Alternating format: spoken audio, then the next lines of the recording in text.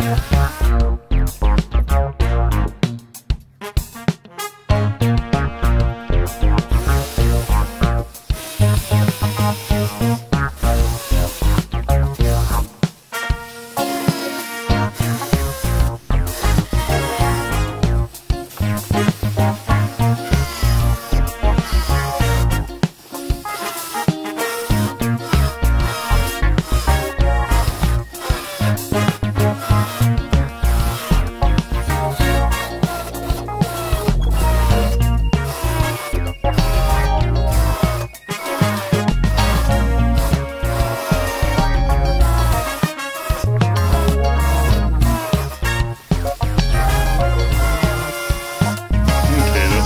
carving part. Let's jump to the end and see what the spoon turned out like.